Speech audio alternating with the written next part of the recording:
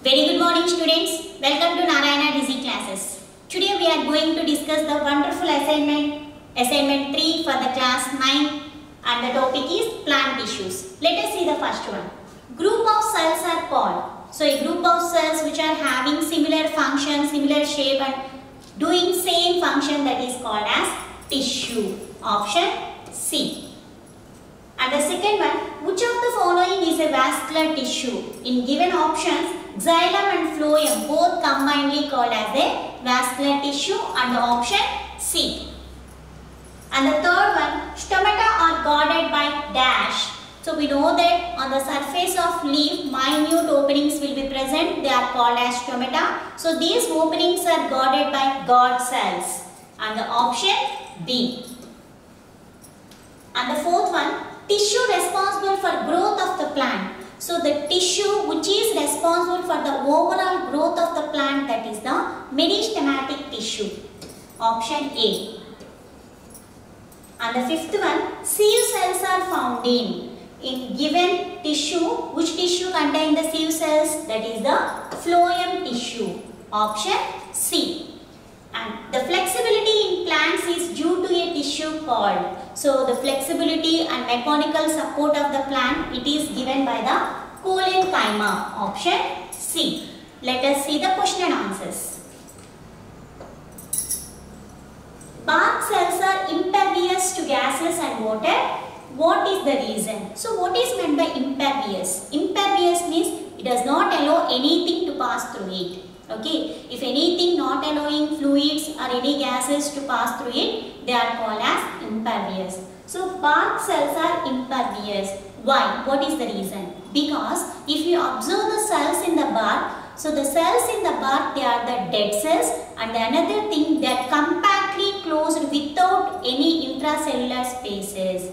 And another thing, these cells contain a material called suberin. Because of presence of this material dead cells, the bark cells are impervious and it does not allow anything.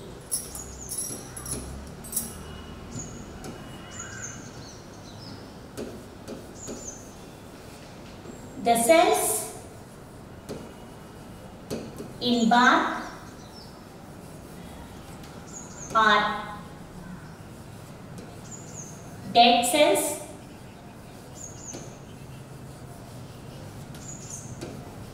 and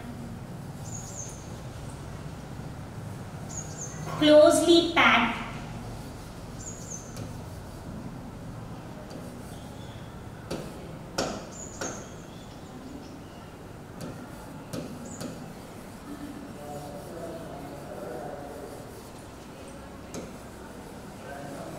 without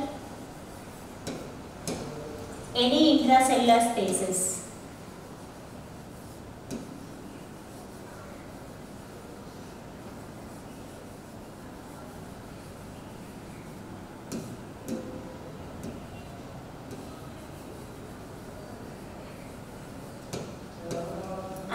It contains a material called suberin.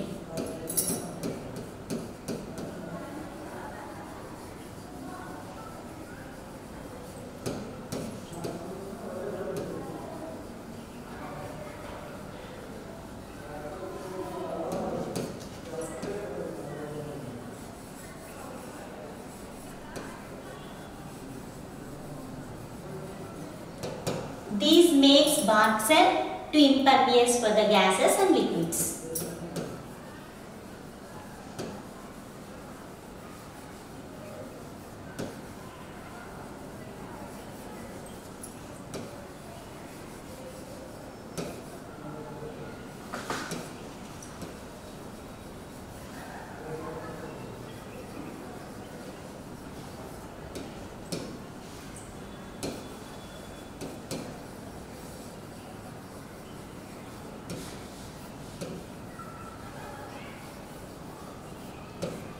Okay, let us see the last one. Draw a neat label diagram of stomata. The minute openings which are present on the surface of leaf they are called as stomata. So stomata have very important function. So let us see the stomata.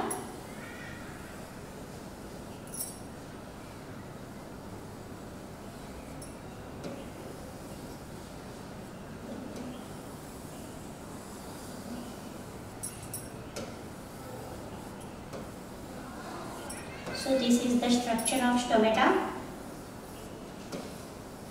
They are important for the transpiration process, exchange of gases and these are the chloroplasts.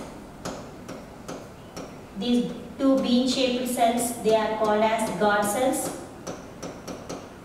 and the empty space in the middle it is called as stoma. So these are guard cells and this space it is called as stoma and these are the chloroplast.